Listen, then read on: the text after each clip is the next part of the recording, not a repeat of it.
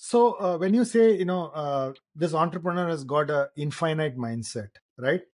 Uh, the real challenge uh, that I find uh, is uh, you know the Proficorn entrepreneur looks at a journey, but there is a money contradiction with the employees that they want to attract. Yes. Okay, so how do you really resolve this? you know, I would say conflict or you know the fact that there is a money needed there is a long journey but today if you want to attract talent you need the money. So how do you really balance the journey versus the money? Very good question swami. So i'll tell you what we've done in netcore. Okay in netcore we have 25% of uh, stock held by employees.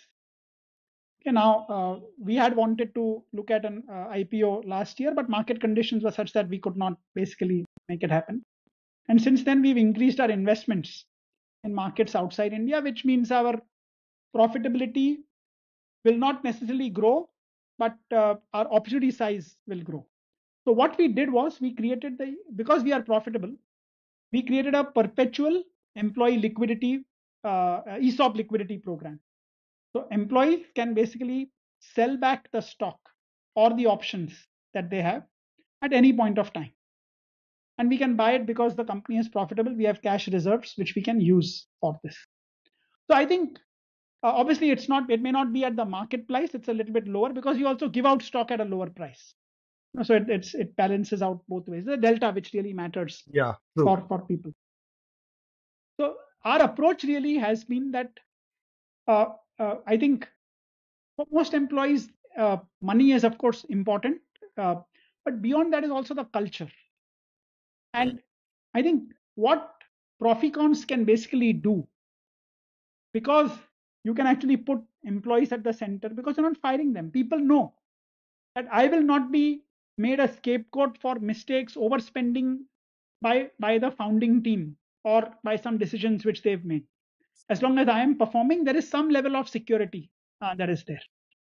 Because we are thinking long term, we can make bets where the payoffs may not be very short term, I don't have to worry about necessarily uh, showing rapid growth on a quarter on quarter basis. I can afford to do some of the investments which will uh, yield outcomes after some time. I mean, today we invest Netcore, for example, again, we are investing in US and Europe because we believe those are large markets.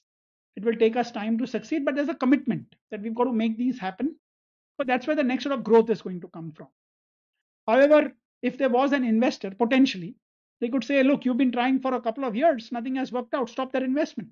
Mm. And then because they have veto rights on many of the decisions, my big financial decisions, I would have no option. So I think because the entrepreneur has a lot of independence in a Proficorn, I think it works out well for the culture of the company and also for employees from a longer term. In the short term, obviously, if you are funded by uh, investors, you know, you can afford to pay more. But we've seen this story pay out in the last couple of years. People were paid very high, but they were also the early ones to get laid off in difficult times. And then, if your lifestyle sort of rises to meet the higher level, it becomes it's a very hard uh, thing to come down. Uh, what is there? So I believe that you have to motivate people by the vision, the problem you are going to solve rather than by just short-term measures on, on money, etc. And I think because you're profitable, I think you can, uh, I think every Proficorn technically can introduce liquidity programs for employees. So they benefit as the company grows. Of course, it's an internal measure with the stock price, but there's also upside which is there for people.